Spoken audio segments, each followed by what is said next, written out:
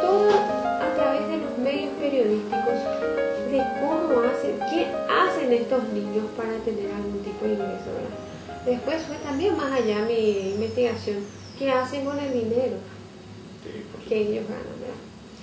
Y hay un porcentaje mínimo de niños que sí llevan para sus casas, que ellos aportan para el sustento del hogar.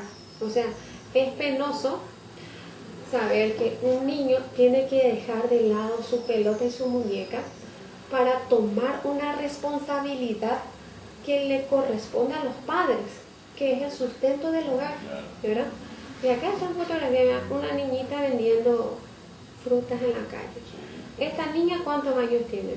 No pasa a los ocho años. Sí, No pasa. es muy pequeño. Muy pequeño. Estos están haciendo malabarismo. Y está el otro grupo de niños, ¿verdad? Que ya tienen un problema más grave, ¿verdad? Que padres alcohólicos, padres drogadictos, este, Que le sirven de ejemplo para hacer los propios. y bueno, y esos son los niños que se drogan. Porque eh, hay que diferenciar bien que hay dos tipos de niños en la calle. Están los niños trabajadores y están los niños drogadictos. Eso es categoría. Los que cayeron. Sí. Eh, no todo es tan malo, ¿verdad?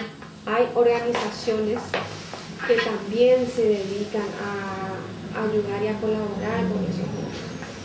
Eh, uno que a mí me, me gusta mucho su labor es de Kenia. De es la única fundación que reconoce a los niños como niños trabajadores. Ya trabajando en el tema, ¿verdad? Yo me di cuenta que hay posibilidades de abarcar ya un, un campo más amplio, no solamente la prestación de alimentos. Este, y yo no le protejo solamente a esos niños que tienen mamá, porque están los niños de la calle también, Sí. que tienen este, Cuyos padres no están separados aún. Están trabajando por su lado también. Y quizás se encuentran en la tardecita. Bueno, muchos de esos niños ¿verdad? Son carentes de oportunidades. ¿Y quién es el culpable? El Estado. El Estado. Y el Estado tiene condiciones y tiene infraestructura como para poder dar solución, no digo a todas las necesidades, pero por lo menos a una parte pequeña de lo que ellos este, están carentes. Y yo diría más bien que es falta de voluntad política. Habías hablado de un ejemplo de un país. Por ejemplo, no, no hace falta ir lejos ni tampoco es una cuestión de que acá inventamos o creamos. ¿verdad? Curitiba, la- una ciudad del Brasil que está acá cerca, está considerada en el mundo, ocupa el octavo lugar entre las ciudades más limpias del mundo. Y es una ciudad bellísima, no hay un papel de caramelo no hay en las calles. Como así tampoco no hay ningún niño y no hay ningún mendigo por las calles. Yo me fui a, a ver cómo funcionaba ese sistema. Y es algo, no es, parece que es demasiado complicado o, o que yo no. La municipalidad de esa ciudad este, recogió a los niños y a los mendigos en la calle y les dio albergue y comida a cambio de trabajo. Y este, el trabajo de ellos consistía en hermosear la ciudad. Y a cada lugar turístico que te los parques, los jardines, los lugares son cosas maravillosas. Hacen esos jardines geométricos con las plantas todas dibujadas, recortadas.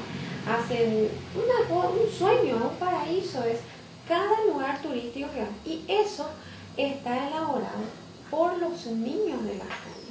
O sea que ellos aprenden un oficio, tienen una profesión, salen de ahí, pueden irse a cualquier lugar de, de su país, de- del Brasil, a hacer lo mismo que ellos estaban desempe- eh, eh, se estaban desempeñando ahí. Por ejemplo, eh, jardinería, tiene varias, no es solamente jardinería, paisajismo. Este, reproducción de las plantas, eh, en fin, eh, injerto de plantas, cosas dentro de un parque, por ejemplo, hermosear un parque. En el parque no está solamente pasto y plantas, ¿verdad? Hay bancos, eh, ahí entra carpintería, entra mantenimiento de este, los bancos, de los juegos, este, pintura, de la, la, parte lumínica, la parte eléctrica.